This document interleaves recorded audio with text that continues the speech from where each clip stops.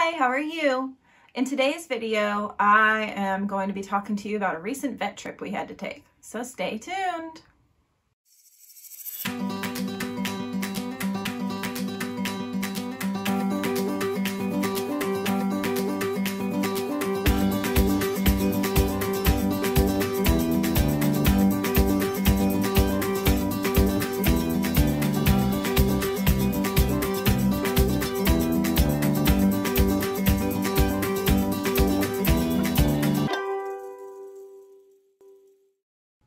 So we had to take Marshmellow to the vet today.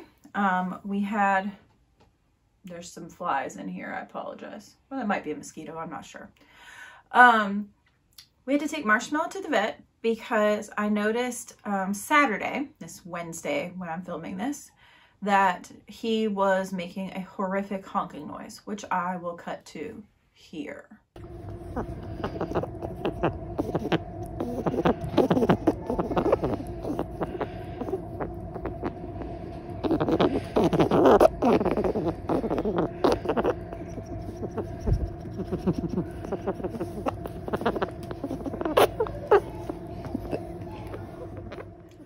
and he wasn't doing this all the time. He was only doing it um, first thing when he woke up, really. And I noticed it first after he had been sleeping in the litter box with his head tucked underneath him like a total fluffy egg.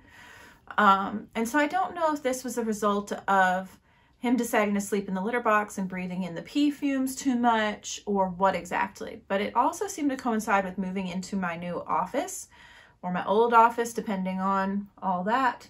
Um, and so I watched him for a day or two and it didn't get any worse really. He wasn't doing this noise more, um, but it was getting louder when he did do it. So I decided to take him into the vet today.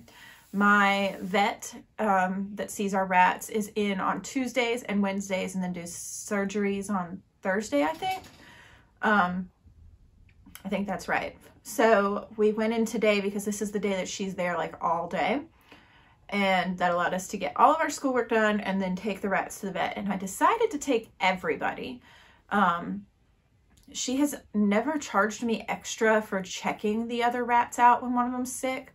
So I thought it was worthwhile to have them all checked just to make sure there wasn't some sort of breathing issue that I'm not trained to hear. Um, I do have surgical grade stethoscope, I guess is what it's called. I don't know. My grandmother was a nurse and I got it from her. Um, and it's a, a real stethoscope, not a pretend one. And so I listened to all of them and didn't hear anything, but I'm not trained to hear anything either. So I felt better just bringing them all in and having the vet look them over and make sure. Uh -huh.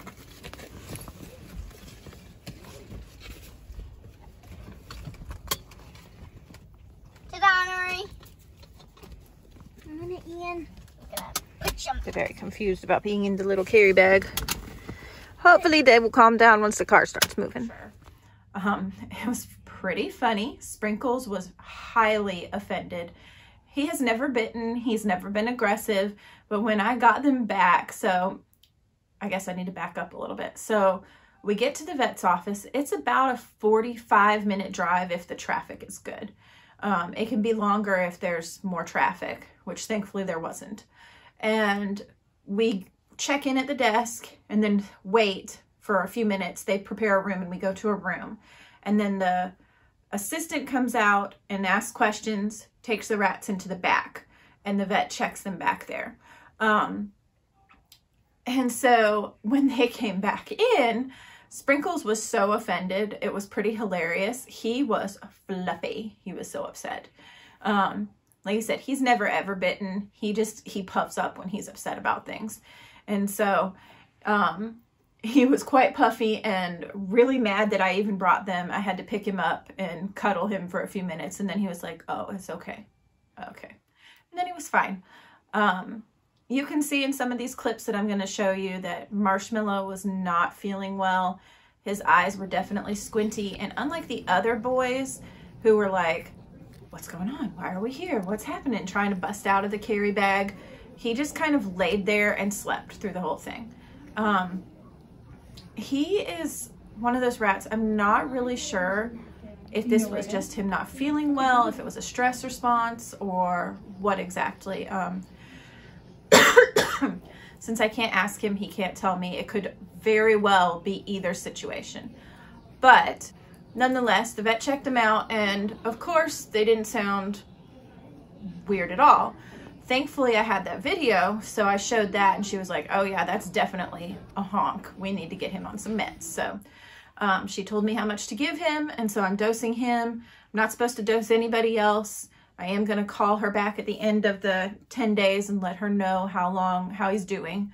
Um, I'm hoping that we caught it early enough that he won't need meds for longer because all of my previous rats, when they'd get sick, they were a lot worse than this, first of all, but it would take like three weeks of meds to make them better. So I'm hoping since we caught it early that 10 days will be enough and he'll be fine, um, since it seems to just be in his nasal passages, I guess um, since his lungs are clear anyway. So that's been our adventure today. So yeah, thanks for watching.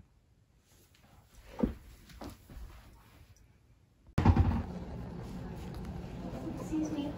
Excuse me. I couldn't. Please stop sitting.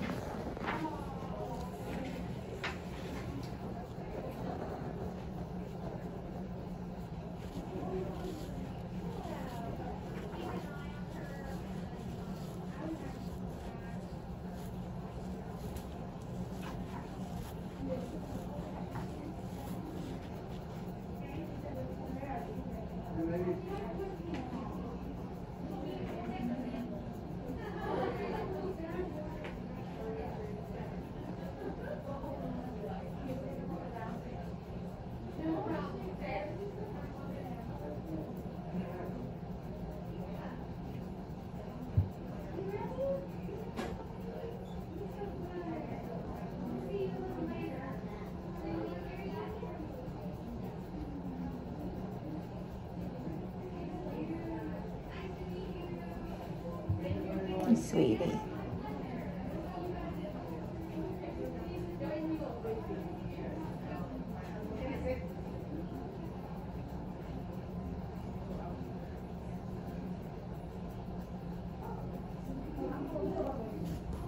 He's actually sitting on a perch over here, staring at me with glaring eyes because he wants to come out and play. He's mad that I took him to the vet and I didn't get him out to play afterwards. Um, if you liked this video, please give it a thumbs up. And that's just super helpful because it helps YouTube to know that you like my videos and makes me more likely to hit the algorithm. Um, if you dislike it, give it a thumbs down. Cool with that, but I would like to know why, so please put that in the comments below. It helps me to know if my video was helpful for you, if it was interesting, um, if there's something that maybe I did wrong that I should change um, you know, just that kind of stuff. I like getting feedback from my viewers. It's really great. Um, and lastly, please don't forget to subscribe. And then if you want to be notified, hit the notifications bell and YouTube will tell you when I post new videos and how frequently, depending on which option you choose. And don't forget to do that so that you know when I post about the miscellaneous mischief that we get up to with our rats and homeschooling. Thanks for watching. Bye. Oh, now he's not glaring. He thinks I'm gonna get him out. It's not playtime, you chunk boy. You need some exercise. There, she the glare. That's one way I can tell he doesn't feel good is those little squinty eyes. He should not be that squinty.